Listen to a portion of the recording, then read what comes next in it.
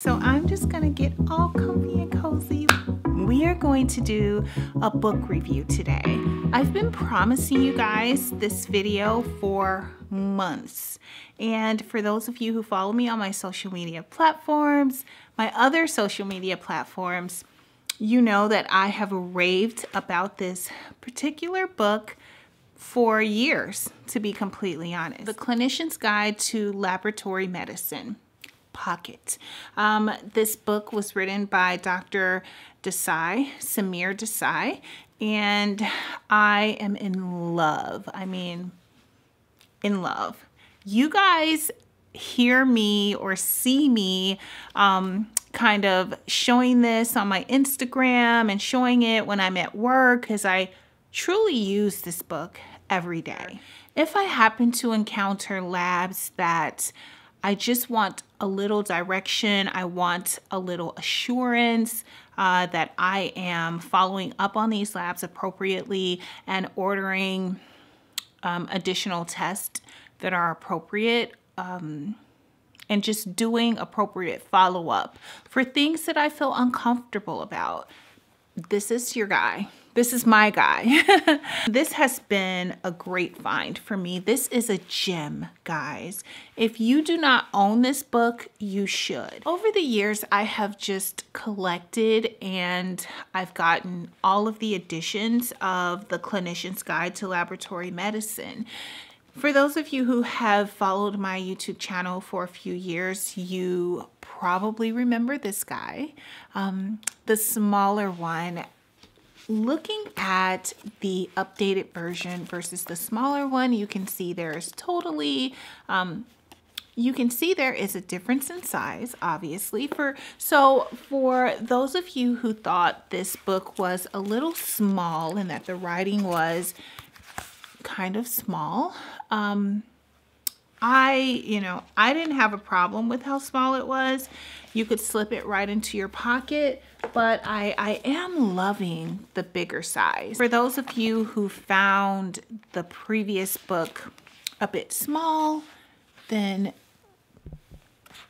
this is your guy. What has changed in this book? This book was published in 2020, so I have been using it since then. Um, I'm just to kind of read uh, the back for a quick breakdown on what is new for the book. I don't want to miss anything, so let's just go through that really quick. Basically, well, before we start, let me just tell you what I personally love about the Clinician's Guide to Laboratory Medicine. I love that it takes your hand and you just go step by step on interpretation of labs and what you should do next.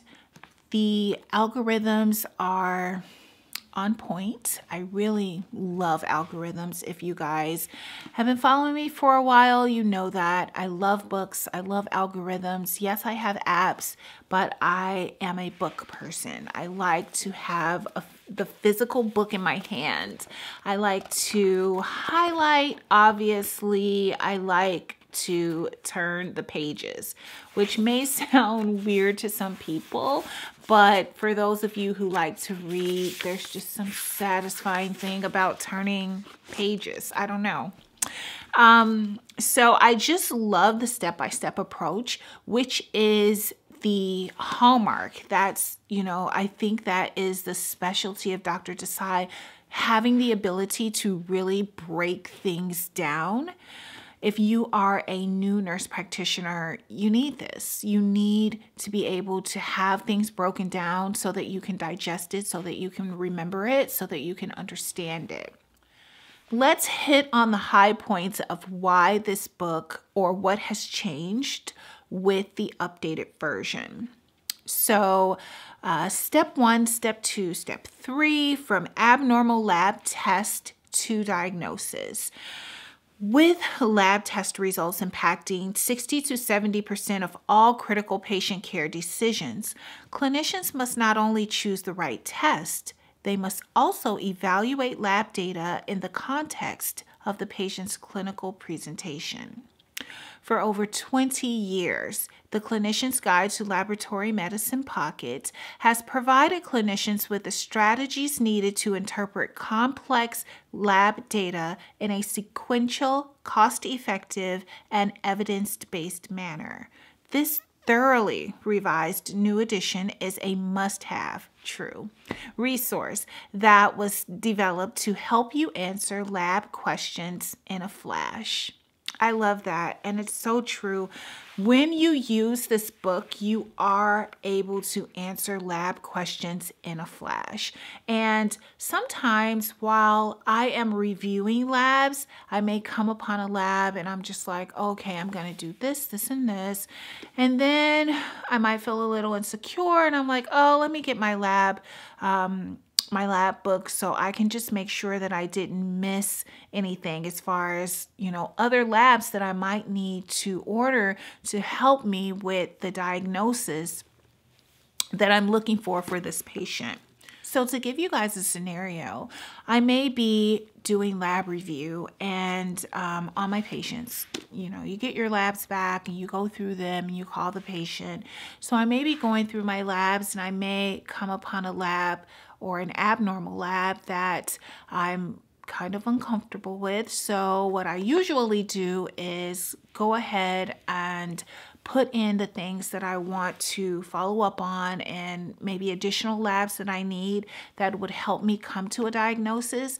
And then most of the time, especially if I am unfamiliar or if I'm not real comfortable with this abnormal lab, I pull out my handy dandy clinician's guide to laboratory medicine and I'll go through the algorithms or I will read all about that lab, that abnormal lab, um, the differentials, what you could possibly expect if this lab is increased or decreased, um, and then go through the algorithm. And usually I find something like oh yeah, I do want to order this because that'll help me to determine if this is happening because the patient has this illness. So the book is an absolute godsend. I'm so excited about having it. I'm so happy that Dr. Desai wrote it. I love it so much.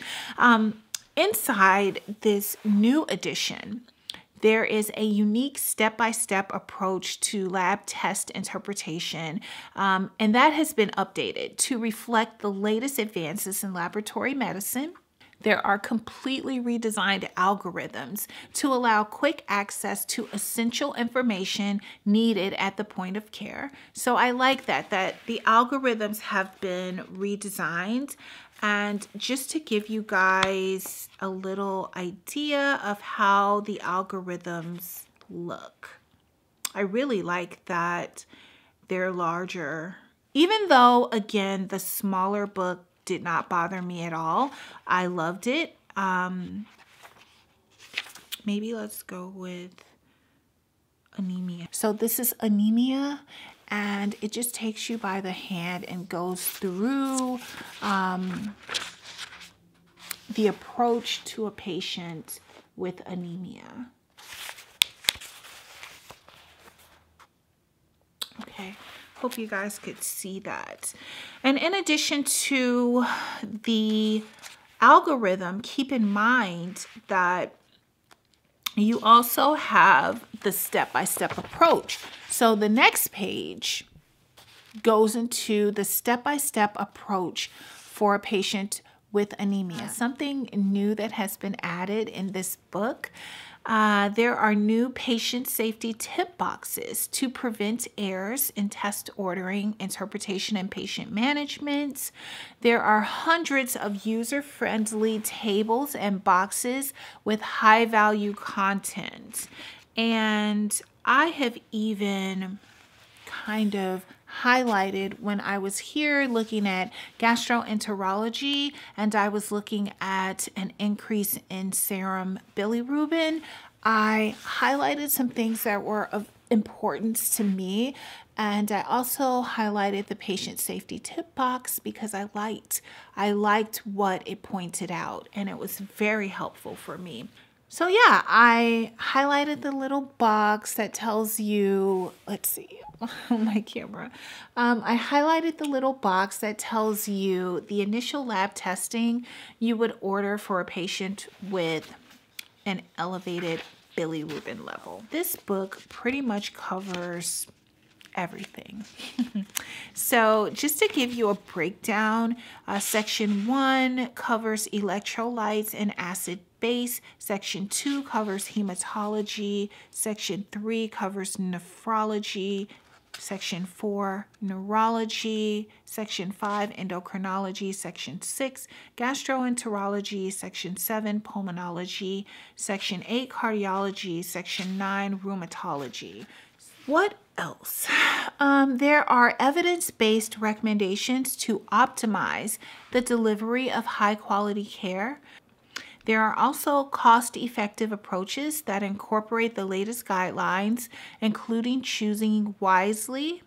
So, this book is relevant to all healthcare professionals, physicians, students, physician assistants, nurse practitioners, and pharmacists. This guide has all the tools necessary to tackle the challenges of lab test interpretation. So I have personally thanked Dr. Desai for creating this book. That's how much I love it. It's literally my favorite lab test interpretation book. Um, and you know, this video is not sponsored. This video is me just telling you guys as a friend what works for me and what's helped me. I'm doing this on my own time and and that's it, you know. I literally put my stamp of approval on this book. Um, I got so many DMs from you guys on um, Instagram when I started posting about my book uh, just telling me how much you loved it and how much it's helped. And um, guys, post below in the comments if you have the book or if you have the older edition and if it's helpful for you uh, because I think that would be encouragement for new nurse practitioners to invest in this tool or in this resource. I have added this book to my Amazon storefront. I just have like a list of, of the books that I love, like resources that I use on my Amazon page. But you could just go to Amazon and type in Clinician's Guide to Laboratory Medicine to purchase this book. You know, whatever's best and easiest for you guys. I hope that this short little video helped you guys. I hope you do yourself a favor and get this book because it is worth every penny. Thank you for tuning in today, and I'll see you guys in the next one. Love you.